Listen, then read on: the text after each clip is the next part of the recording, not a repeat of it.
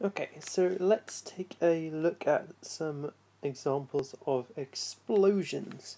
So what we've got here, rather crudely drawn, is a cannon. And inside the cannon, in the red, we've got lots of explosives packed in there, so that's very exciting. And also we've got this blue cannonball here. So I'm sticking with quite a general example, I'm not going to go into specific um, cases here. So I'm going to say the cannon's mass is m, or oh, sorry, there's no units, how awful. So is m, big M kilograms, the ball mass is little m kilograms. Velocity, the ball velocity after is v meters per second, and the cannon velocity after is r meters per second.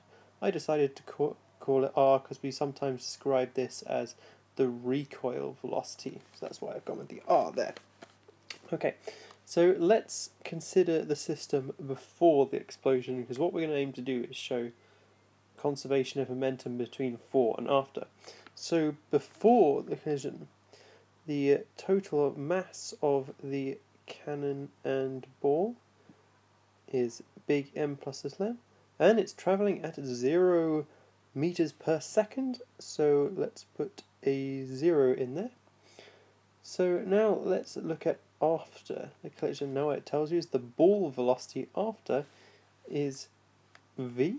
So that means the momentum of the cannonball would be mv, and the momentum of the cannon, therefore, would be the recoil.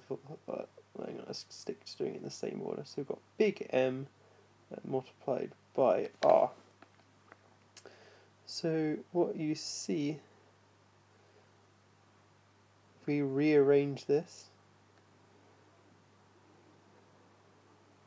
so we're taking the m, obviously the big M plus little m, both multiplied by 0 gives you 0, subtracted the mv from the other side, and divided by uh, the big M, so the mass of it. So if we want to know what the recoil velocity is, what you'll find is it's in of you get this ratio here being applied. So you've got the mass of the cannonball divided by the mass of the cannon. So obviously we'd expect a cannon to be a, a lot heavier than a cannonball, so you'd expect that to be a fraction and be less than 1. So you'd expect the recoil velocity to be quite a bit smaller than the cannonball velocity, and obviously it will be in the opposite direction.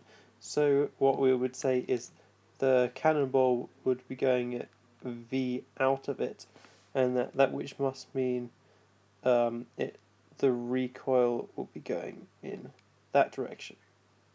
Or sorry, I should be a bit more careful with careful with that. Obviously, r is towards the right, but because r is negative, that means that in actual fact the recoil velocity is to the left. Okay, so let's make this a little bit more complicated. Okay, so in this one we're going to look at something slightly more complex. So, we've got some notation. So, M1 is the mass of the train, M2 is the mass of the cannon, M3 is the mass of the ball. There's a VB up here is the mass is the sorry the velocity of the ball after the explosion. R is the recoil velocity after the explosion. VT is the velocity of the train following the explosion and the 2 meters per second is the velocity of all of the parts before the explosion. So let's look at conservation of momentum here. So before the explosion, the momentum is just three masses all added together multiplied by 2. After the momentum in the horizontal direction, you've got VB now I should give this angle a name so I'm going to call it theta as we usually do.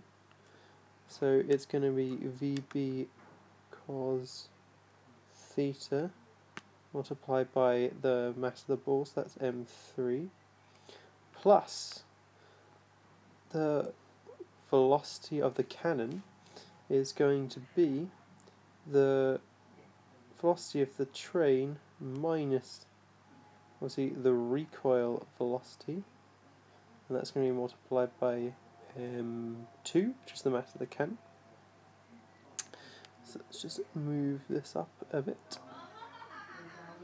And obviously the final part to add to this will, will be your the velocity of the train multiplied by the mass of the train.